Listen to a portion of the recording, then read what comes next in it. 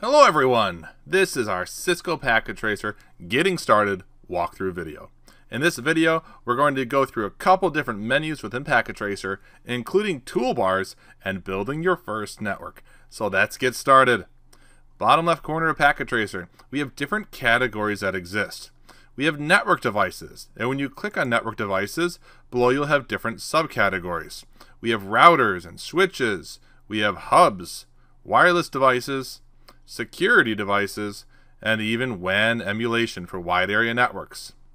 Now, we have a different main category though, where we can go from network devices and change to end devices. When we click on end devices, we're going to see a lot of different subcategories.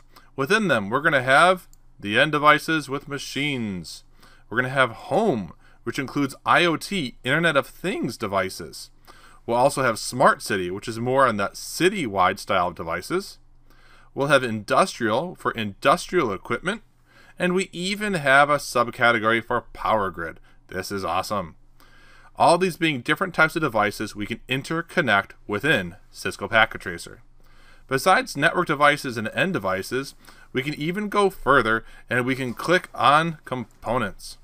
Inside of components, we'll have a subcategory of boards. We'll have a category for actuators and even sensors. All these individual items which can be included to make it an amazing Internet of Things packet tracer. Going further, we can go ahead and click on connections. The connections category is where we're going to find a lot of cool ways you can interconnect your devices.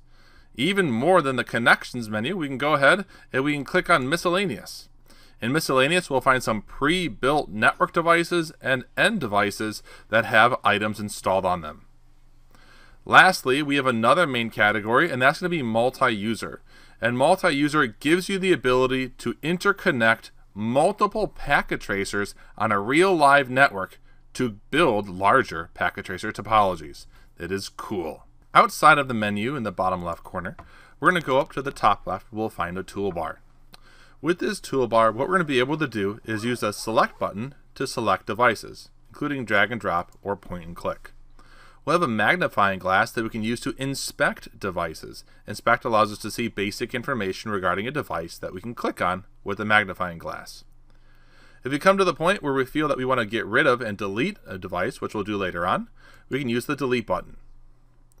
Besides those, we can always resize, and resize allows us to resize little graphics. We'll take a look at putting a graphic in in just a little bit. We can document our topology by using the place note. I can click on the notepad icon and place a note anywhere in my topology and say that it's a connection for a specific PC, or maybe it has an IP address, or just the device name. Besides using the note icon, we're also able to draw lines, we can draw shapes, as well as we can even do freeform. There's many options here to help us organize our networks. This comes in handy when you have a lot of devices deployed and you want to categorize them or make it easy to read the topology. Outside of those items, we have the ability to send network data utilizing what's called PDUs. We'll use these in upcoming videos. So what we want to do next is we want to actually get some equipment inside of our network topology. So I'm going to click here in the top left corner, which is my select button, and then I'm going to go ahead and get myself a wireless router. The wireless router will be under the main network device category, followed by wireless. Inside of wireless, I'll see a couple devices here, and I'm going to choose the home router. I'll click on the home router, click on my topology, and now I have the home router in my logical workspace. Now we need some devices that will connect to the home router. So I'm going to go ahead and click on my end device main category, and I'm going to grab a laptop. When I click on the laptop, I will then click on my logical workspace, and now I have purchased a laptop. I would also like to make this a little more equivalent to a normal home environment, so I'm going to click on a desktop PC, and I'll put that desktop PC on my logical workspace. Now none of these devices are automatically connected to the wireless router. Let's bring out another device. We're going to grab a smart device, equivalent of a smartphone. I'll click on that in my end device category, and I'll also click on my logical workspace. So this time we have a desktop PC, a smartphone that just connected to wireless, and a laptop. Let's get the PC plugged into that wireless router. In order to do this, we're going to go ahead and click on the Connections menu right here. When you click on connections, I'm going to grab the third cable. It's the copper straight through. I'll click on the copper straight through. I'll select my PC, and this is going to plug into the fast Ethernet port, the network jack. When I click on the fast Ethernet, I will then click on the wireless router, and I have four Ethernet choices to plug this network cable in. I'll just choose the first one, Gigabit Ethernet 1. That PC is now cabled and will have a network connection coming online.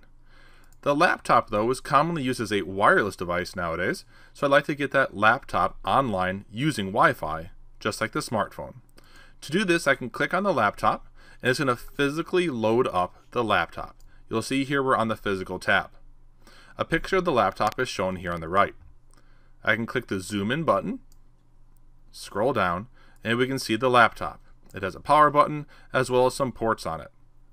I can power off the laptop and I can take this wired network port right here and I can select it by left clicking, drag it, and drop it on this list. This list is actually different network cards as well as accessories and peripherals I can install on my laptop. I want this laptop to use a wireless network card. There's a couple different ones.